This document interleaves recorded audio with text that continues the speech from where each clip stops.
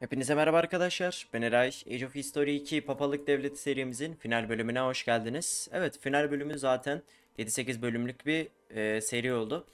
Ne yapacağız şimdi? Önceki bölümümüzde ne yapmıştık? Hindistan almıştık ve Hindistan Papalık Devleti diye kendi vassalımızı oluşturmuştuk. E, kendisinin 237 bin ekonomisi ve 1 milyon 485 bin nüfusu var ve 1,04'te teknolojisi var. Şimdi bizim Doğu Roma ise teknolojisi düşük olmasına rağmen e, bizle ilişkisini kötüleştiriyor. Muhtemelen ekonomisinin yüksekliğinden kaynaklı. Fakat e, tabii kendi doğramamızı da oluşturmuştuk. Ama yine mantık aynı mantık yani doğrama işte bizim bildiğimiz. Litvanya ile başka başka birisiyle olmadı galiba. Ha, İmereti ve Çerkezya ile müttefik olmuştuk. Ta Aa, lan müttefik değil miydik biz? Ha tamam şimdi oldu. An müttefiklikten mi çıktı çözemedim. Ne yapacağız? Tamamıyla bütün ordularımızı Karakoyunlu'ya yollayacağız. Neden Hindistan seferi yaptık? Çünkü Karakoyunlu'yu hızlı bir şekilde almamız için birçok cephe açmamız gerekecekti. Zaten Anadolu'da ve e, nere diyelim, nere diyelim Arap topraklarında var bizim doğurmamız. Hindistan'da var. Artı kuzey topraklarda var. Biraz daha böyle İskandinav tarzı topraklarda. Şimdi ne yapacağız? Ordularımızı biriktireceğiz. Ordumuz yok gibi görünüyor ama halbuki bizim baya baya ordumuz var. Şimdi ne yapacağız? Şu düşük orduları sileceğiz. Bunların bize pek bir yararı olmayacak. Ondan dolayı en azından şöyle gördüğünüz gibi zaten ordu kısmında da görünüyorken ki 1 milyon hatta belki 1,5 milyon da olabilir. Şöyle bir gelsin bakalım. 495 1 milyon 530 bin ordumuz var. Şimdi biz bu ordu maalesef görünmüyor. Tabii ki de ne yapacağız? Orduyu sileceğiz ve 1 milyon 530 bin ordu basacağız. Tabii ki de kendi topraklarımıza. Bazen e, o hatayı yaptığım için e, müttefiğime pardon vasalıma veriyorum. 1 milyon 530 bin. Bakalım saydı mı? Saymadı. Neden saymadı? Olmadı mı? Allah Allah bir, bir daha bir deneyelim. Lan yanlışlıkla çıktık. Yanlışlıkla çıktık. Şöyle. Tamam. Set army 1 milyon 530 bin. Şimdi saydı mı? Biz yanlış kişi orada basmıyoruz değil mi? Allah Allah. Ben yanlış da müttefiğimize yollamaya, yollamayalım da bu sefer biz işgal edemeyiz onu. O bizi işgal eder. Oğlum gelmiyor, ordum gelmiyor. Bir dakika. Tamam arkadaşlar yanlış yazıyormuşum. Ondan dolayı gelmiyormuş ordu. Şimdi ne yapacağız? Ben bu ordu dağıtma işlemini falan eee, tamamıyla YouTuber'dan gördüm. Ben ba- bayağı cahil kalmışım bu oyunda ya. Biraz daha aslında daha çok detay varmış. Biz ama o detayı atlamışız. Şimdi ne yapacağız biliyor musunuz? Ordu dağılımı yapacağız. Müttefiklerimiz seçiliyor mu? Ha müttefiklerim şeylerimiz seçilmiyor mu? Sadece kendi toprağımız mı? He, o yandan kötü olmuş evet. Peki bunları? Yok hiçbirisinde seçilmiyor. O zaman biz buradan kendimize bir toprak moprak falan mı almak zorundayız? Keşke vassalımızda da falan olsaydı da. Yapacak bir şey yok. Biz şimdi bir ordumuzu hemen bir dizelim. Tek tek sınırlara direkt Karakoyunlu'ya savaşımızı açalım. Evet arkadaşlar, e, ordularımızın tamamını hemen hemen hatta tamamını sınıra yerleştirdik. Şöyle göstereyim. Her yere sadece bir müttefiğimizin sınırına yerleştirmedik. O da müttefiğimiz tutar diye düşünüp hiç ellemedim ona. Şimdi ne yapacağız? Jaipur da var da Jaip... Avo biz bunu tamamıyla unuttuk ya. Gerçi onda bizim ordular baksın. Gerçi sınırlara dizmiş. Şimdi ne yapacağız? Savaşa hazırlan diyeceğiz ve hepsini çağıracağız. Litvanya ile ilişkisi falan iyiymiş de. Vallahi geleceksiniz hepiniz. Şunu bassam. Tamam. Şimdi bütün ordular bir sınırlara bir diz- dizilsin. Oh oh maşallah. Güzel. Savaşımızı ilan ettik. Direkt ilk saldıran taraf biz olalım. Direkt işleri bitirelim. Daha çok zorlanmayalım. Bazı böyle tek tük taraflıları şöyle bir tek toprağa getir getireceğimiz için işimiz bir tık daha zor olabilir. Örneğin mesela şu taraf gibi. Bu taraflarda işimiz zor. Biraz daha böyle doğu topraklarında işimiz kolay. Çünkü çoğunluk o taraflarda gördüğünüz gibi. Şöyle de göstereyim zaten. Çoğunluk bu taraflarda olduğu için işimiz daha kolay olacaktır. Hemen şöyle ordularımızı bir yollayalım. Tek tek hızlıca bitirelim. Gerçi burada daha 75 bin ordumuz varmış. Bunları yollayalım. Tamam. İnşallah bu iç toprakları siz alırsınız. Çünkü şöyle bir şey oluyor. Adamlar 100 kişiyle falan ne yapıyor? 10 bin kişilik adamı falan alıyor yani. Siz de biliyorsunuz zaten o durumu. O birazcık saçma. Oyunla mı alakalı yoksa hani genel oyunda da mı öyleydi? Onu bilmediğim için bir şey diyemeyeceğim. Yalnız iyi kayıp verdik. Biz niye bu kadar kayıp verdik? Ya da çok mu dağıttığımız için öyle oldu? Şöyle ordumuzu bir bölelim de. Ona göre planlı bir ilerleme yapalım ya. Şu an çok kötü bir ilerleme oluyor. Bu e, Kırım topraklarına mı? Neyse Kırım topraklarında da ilerleyelim ya. Ben Çerkese'ye falan ilerleyeceğini düşündüğüm için buralara da bir 50 binlik ordu tutuyorum şu an. İki ilerleyecektir muhtemelen. Şu an, şu, an çünkü sadece biz ilerletiyoruz toprakları. Sadece biz kazanıyoruz şu an. Ki çoğunu biz işgal ettik değil mi? Bildiğim kadarıyla bakalım. 43 işgal 5 kayıp. Eh Litvanya falan da en azından küçük de olsa yardımı dokunuyor. Ki bize çok da bir böyle bir ne, ne derler ona bir şey yok. Hani bir direniş yok. Ki muhtemelen bir yerde çok büyük bir ordusu bekliyor. Ondan dolayı o ordusunu bir bekleyeceğim bakalım. Alabileceğiz mi alamayacağız mı? Ki Hindistan topraklarındaki ordularımız bu doğudaki doğu diyelim Orta Asya diyelim. Orta Doğu'daki diye, diye diyelim. İyi konuşamadım. Orta Doğu'daki ordumuzla birleşecek şimdi. Oraya aldırtma ama.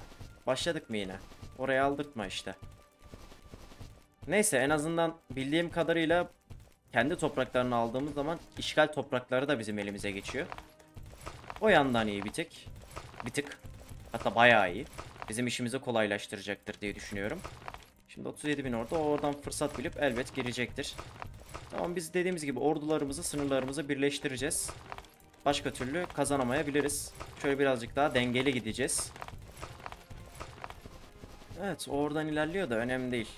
Bizim adamımız onu tutar diye düşünüyorum ama ben yine de arkada bir 50 binlik ordu bırakayım ya.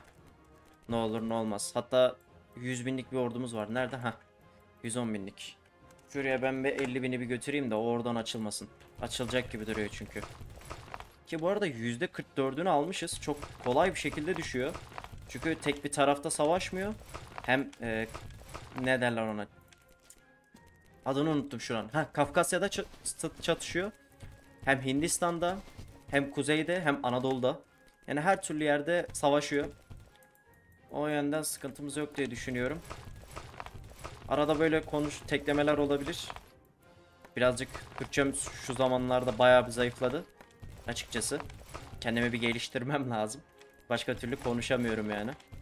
Tabi bizim vasalımız da topraklar aldığı için e, alınan topraklar bize geçiyor direkt. Bu 1.5.3'ten kaynaklı bir şey ki gayet güzel. Ama tabi her tur topraklar bizim olduğu için ele geçirildiği zaman bizim topraklar ele geçirilmiş gibi gösteriyor. Ama aslında müttefiğimizin toprağı. Zaten final bölümü olduğu için buradaki bütün toprakları ilhak edebileceğiz. Sadece tek şeyimiz şu an amacımız en erken şekilde bitirebilmek, kapitüle edebilmek.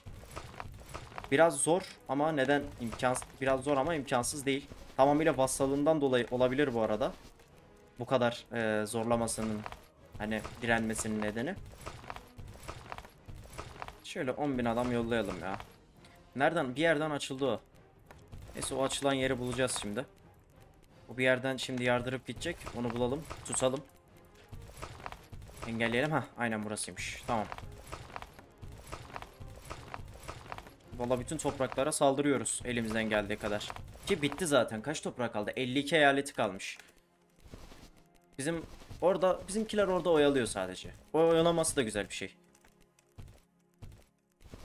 Zaten yüzde kaçını aldık? En son yüzde 52 idi 44'tü pardon. Yüzde 71'e kadar yükselmiş. Ki gayet güzel. Çünkü her taraftan ilerliyoruz. Bu 60 binlik ordu bizim için kafi olacaktır. Gerisine gerek yok. Bu 25 binlik ordu bir kalsın. Bu orduyu da bölelim. Belki işgal eden toprağı alacağı için işimiz daha da kolaylaşacaktır. O bak mesela 10 bin adamla 100 adamı yedi mesela. Bu çok saçma bir durum.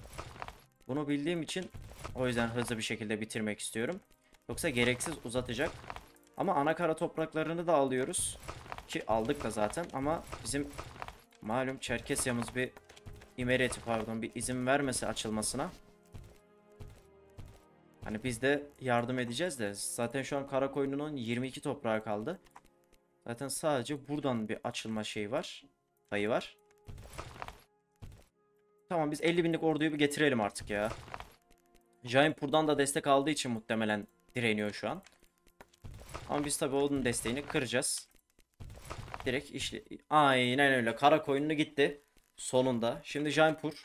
Bakalım. Şöyle 25-25 adam demeden direkt tutalım dursun. Karakoyun yine çöktü. Bu hep böyle diyecek. Aynen öyle. 41 bin adamıyla geliyor. Oh tamam mükemmel mükemmel.